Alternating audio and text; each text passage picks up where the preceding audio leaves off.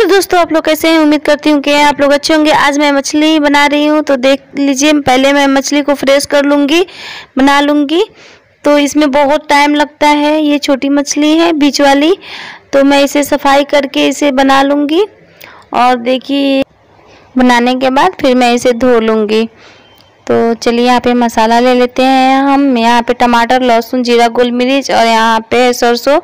और बाद में इसमें हम ऐड करेंगे मिर्च और हल्दी, नमक। तो यहाँ पे हम मिक्स करके फ्राई कर रहे हैं।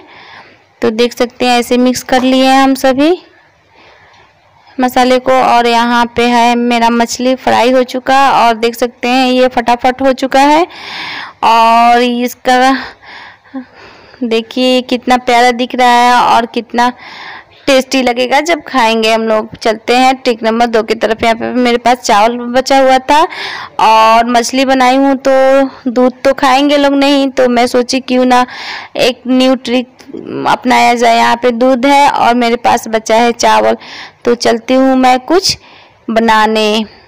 चलिए खीरी कह लेते हैं, खीरी बना लेते हैं हम आज। इसमें हम चीनी ऐड कर लिए, फिर हम इसे चलाते रहेंगे। दूध थोड़ी सी गाढ़ी हो जाए और उबाल आने लगे, तब हम इसमें चावल डाल देंगे।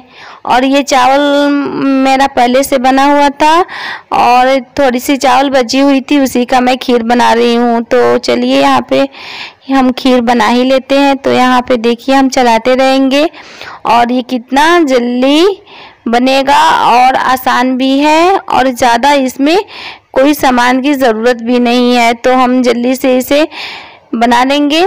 यहाँ पे देख सकते हैं कि ये फिरनी गाढ़ा हो चुका है और खीर बन के तैयार हो चुका है।